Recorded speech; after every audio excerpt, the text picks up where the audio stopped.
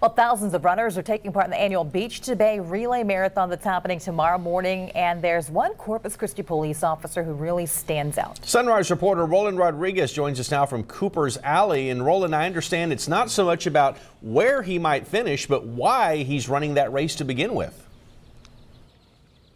Hi, good morning, guys, and good morning, South Texas. Assistant Chief of Police Mark Showers is running this race for one reason and one goal. That is to honor his good friend and other fallen police officers. The 43rd annual Beach to Bay Marathon is a six leg running event in relay and full marathon format that totals about 26.2 miles. Traditionally, it honors military servicemen and women on Armed Forces Day.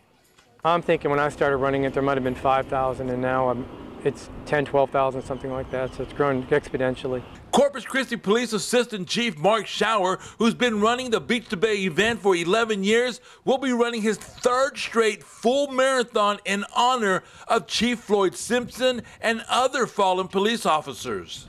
So I run in his honor, but we've also had six police officers killed in the line of duty within uh, recent history here in Corpus Christi. So I also would like to, you know, run in their honor and remember them and pray for them throughout the race. Police Chief Floyd Simpson was killed in a motorcycle crash in Port Aransas in May of 2015 at just 51 years old. Yeah, he had, he had a good, uh, great personality, but his laugh was something you couldn't forget. He had a, he had a lot of um, life behind his laugh. And also he was good a leader. You know, he's very good at um, the way he led the department I thought was good. So um, he's, he's missed. One would think running in memory of the fallen officers would give Showers a heavy heart, but he feels just the opposite. Well, actually, it's a, it's a lifter upper because when I think of Chief Simpson, I think of the good memories. And when I think of those other officers, uh, ones I've known who have died in the line of duty, I think of the good memories of them.